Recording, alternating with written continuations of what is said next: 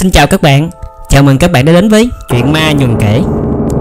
Thì hôm nay á, Mình sẽ kể cho các bạn nghe một cái câu chuyện Mà do chính bản thân mình đã từng trải qua. Thì không biết á, Là mấy bạn hồi xưa làm sao?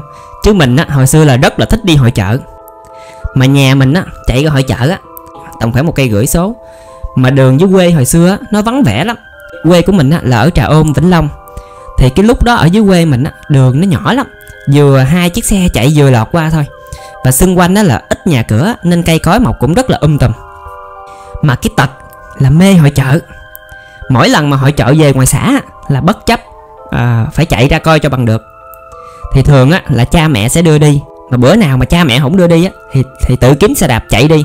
Mà trên cái đoạn đường mà mình đi ra chợ á thì chạy ngang một cái đoạn đường khoảng 500 mét là không có một cái nhà nào hết. Hai bên cây cối rất là um tùm.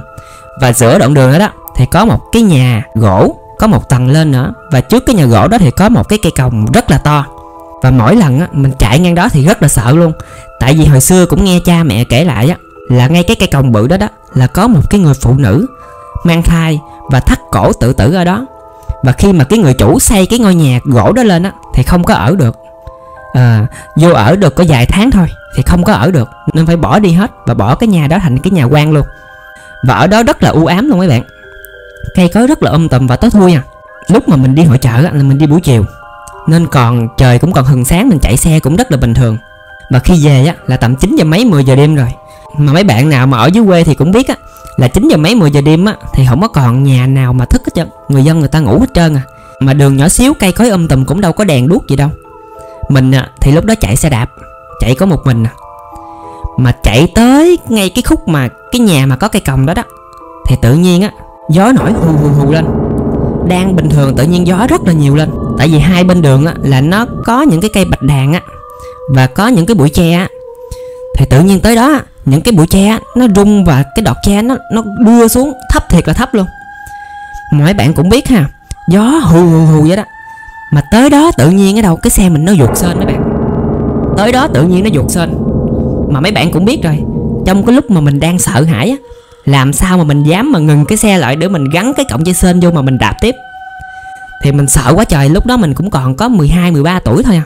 Mình sợ quá trời cái mình mới lần lần lần chiếc xe để mình chạy đi vậy đó, cho nó nhanh chứ đâu có dám ngừng lại. Mình thoáng ở đâu nghe cái tiếng kêu mình kêu mình ở đâu, ở sau lưng mình á.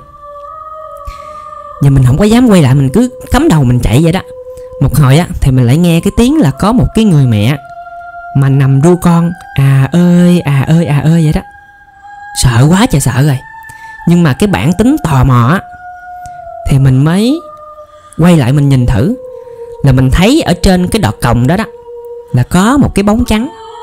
Thật ra là mình thấy cái bóng trắng thôi, chứ mình không có biết là là hình dạng nó ra làm sao, hay là nó có chân, hay là nó không có tay hay là tóc nó dài như mọi người kể vậy đó là là mình không có biết được. Thiệt luôn. Là mình chỉ thấy một cái bóng trắng phất phơ ở trên ngay cái cây còng đó. Có thể là cái cảnh mà cái người đó trong cái lúc mang bầu mà thắt cổ á nên cái hình ảnh nó đưa đưa gió hù hù nó đưa đưa vậy đó. Mình quéo hết trơn. Quéo hết trơn đâu có dám mà mà quay lại nữa. Thì cứ cắm đầu và đẩy xe hê hê, hê chạy. Và chạy một mạch về tới nhà là lúc đó là mồ hôi mồ kê nó nó lả hết trơn rồi. Mà mấy bạn biết là cái đồ mà mình đạp xe á trong cái lúc mình đẩy cái chân á là nó đập vô cái chân của mình á là chạy và chảy máu hết trơn luôn. Mà cái lúc đó là mình không biết đau luôn mấy bạn. Mình không biết đau mình chạy về tới nhà mình rồi. Mình mới nhìn xuống cái chân của mình á, là nó chạy và nó rớm máu hết trơn. Một hồi sau á thì mình mới hoàn hồn lại là mình mới biết đau mới biết rét á. Đó là một cái cái lần đầu tiên mà mình có cái cảm giác như vậy luôn. Không biết là do do cái lúc đó mình nghe người lớn kể lại á là mình bị ảo giác mình bị ảo tưởng hay sao mình sợ quá mình bị ảo tưởng làm sao mình cũng không biết.